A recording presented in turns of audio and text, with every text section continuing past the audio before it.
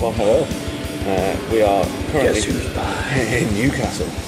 Um, it's the first time that me and Dan have been out since Christmas, before Christmas. Well, the last time we were together was September. What's up, guys? So yeah, um, I know this isn't really like you know festival access or gigs or anything, but we thought we'd make a little vlog about this.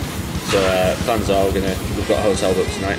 We're gonna check in there in half an hour or so once we finish these drinks, uh, and then we are gonna hit the town. So we will update you as the night goes on. Um, but yeah, enjoy the video.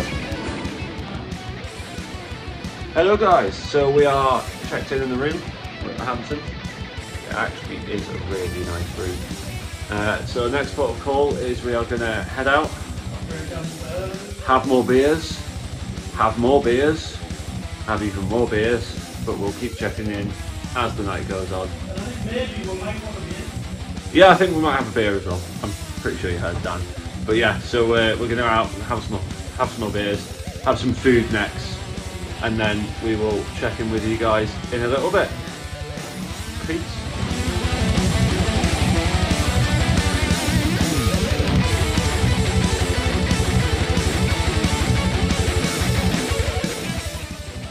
Um, yeah, didn't expect that this would be the next clip, but we're in the hotel, ready to leave the next day.